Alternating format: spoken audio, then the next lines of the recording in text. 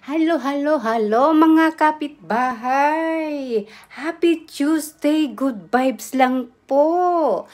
Ayan, samahan niyo po ako magluto ng lunch at dinner. 1.45 in the afternoon here in Romason, Switzerland. Happy Tuesday, good vibes lang po. Ayan, dorade, pero parang tilapia po di. Ayan, dorade po ang tawag dito.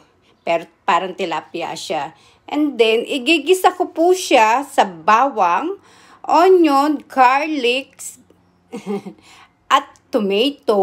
Ayan. Ginisang sa isda. Ang, ang mangyayari po kasi, ang style ko po, ala chismosang kapitbahay, igigisa ko siya tapos ilalagay ko po siya sa back oven. Ayan. Nang one hour. Ayan.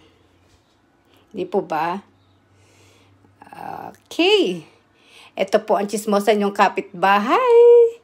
Dito lang po sa Romanson, Switzerland, 145. Happy Tuesday! Lunch and dinner na po ito.